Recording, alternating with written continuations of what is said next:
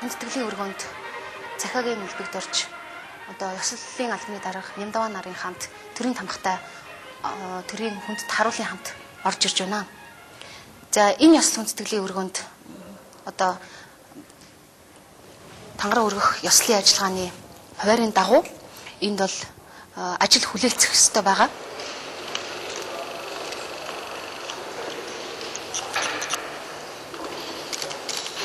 За энд төрийн сүлд болон төрийн тугандаа Монгол Улсын ерөнхийлөгч хүндэтгэл үзүүлэх гэж байна.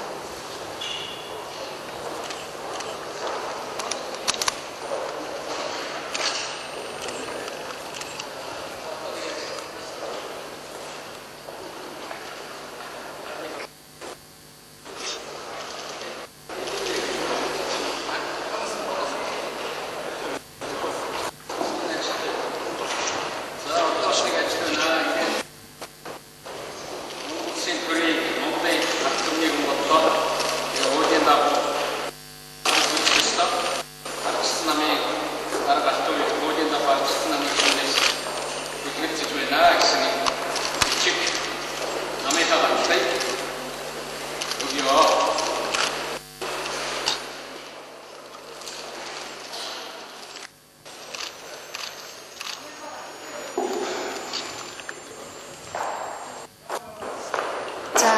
хуулиараа бол Монгол Улсын ерөнхийлөгч одоо ингээд ерөнхийлөгчөөр сонгогдсон тэр цагаас хойш намын гишүүн биш болдог. Өөрөөр хэлбэл ерөнхийлөгч бол ард түмний харьяалын хүн болтгоо. Тэгэхээр энэ бол намын баталгаа энхүү гардуулж өгснөөрөө захаагийн нийлбэгд орж бол ардчсан намын хүн биш харин ард түмний хүн болж байгаамаа.